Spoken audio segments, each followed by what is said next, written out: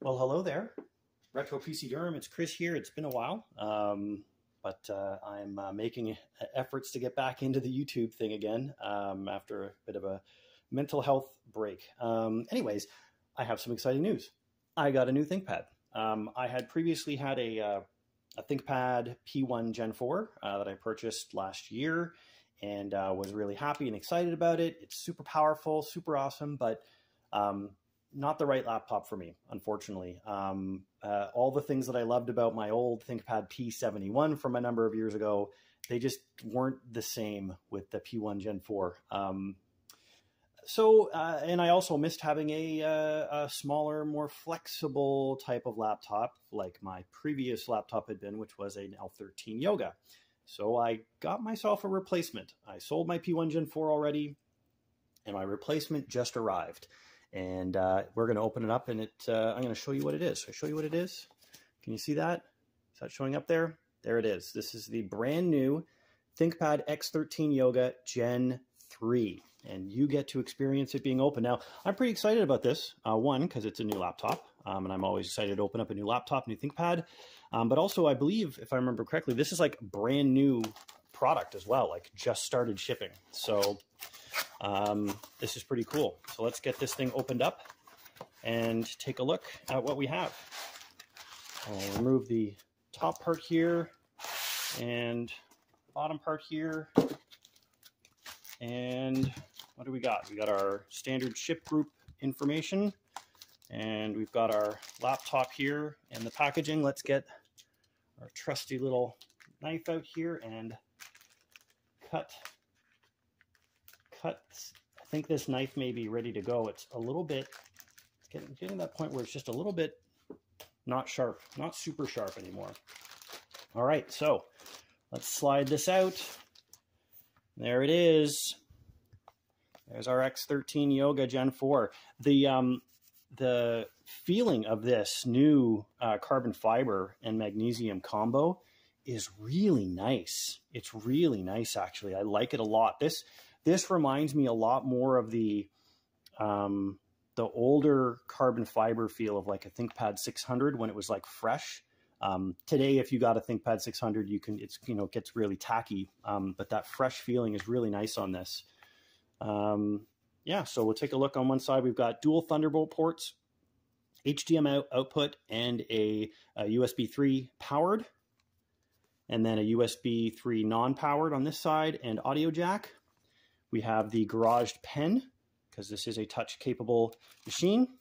Uh, and then that's it. Now, um, on some models, um, you can get an optional smart card reader um, if you configure business purposes basically only. And then in this empty space here, there would be, I believe, where you'd have a SIM card slot if you had um, WWAN capable. Um, WWAN models are not available yet, um, at least not in North America. Uh, when I was looking at models that were available, they're just not shipping yet or the functionality is not there. Um, and frankly, WWAN is not as popular here in North America outside of business purposes um, as it is, say, in Europe.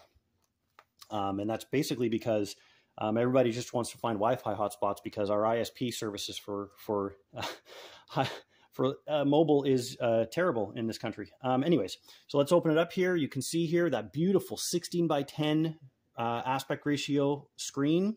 Um, this has got the um, anti-glare film and, and touch film on it. So you can see there's a little bit of that, you can see that sheen there where it's not like a glass piece.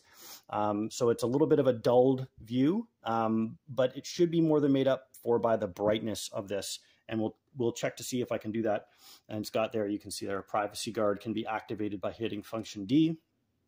Nice keyboard setup, big trackpad, which I'll never use and our lovely track point.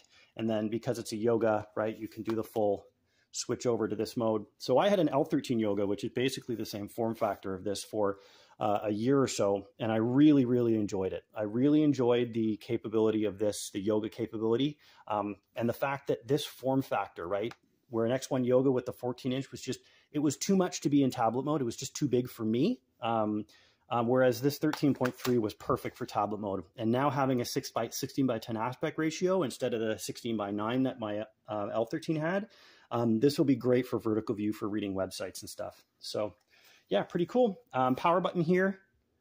uh, which has the built-in thumb uh, fingerprint reader. Um, it won't power up right now because obviously um, it's not charged. So I'll have to plug it in and charge it for a little bit. And then uh, what I'm hopefully going to be able to do is uh, run a second video for this. That will be kind of like a overview, um, you know, first week, first month experience um, to go along with this as well, um, where I'll maybe do some benchmarking and things for it. But I'm pretty excited to have this. I'm really, this is going to be fun. Um, having a nice uh, a laptop that I'm going to be uh, able to carry around with me wherever I go around the house um, and is really convenient and portable.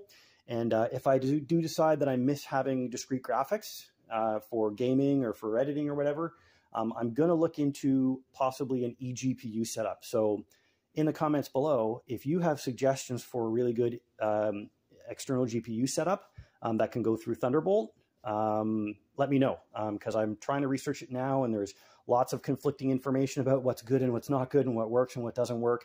Um, and uh, I'm interested in finding out what the, the best, uh, uh, most efficient way to be able to set something like that up is. Um, yeah, once again, thanks for checking this out. Hope you are uh, enjoying and staying safe and staying healthy, and we'll catch you in the next one.